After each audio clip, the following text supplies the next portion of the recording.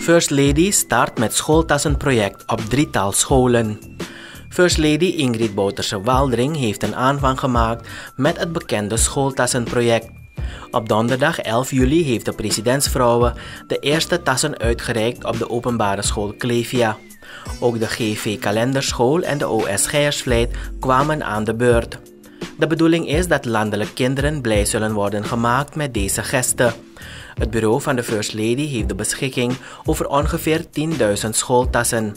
Er is vroeg een aanvang gemaakt met de distributie, omdat de ouders hiermee een stukje geruststelling krijgen over het feit dat hun pupil nog voordat het nieuw schooljaar begint een tas met inhoud krijgt. Het vervolg van dit bericht kunt u lezen op www.deboodschap.today. Www.deboodschap.today.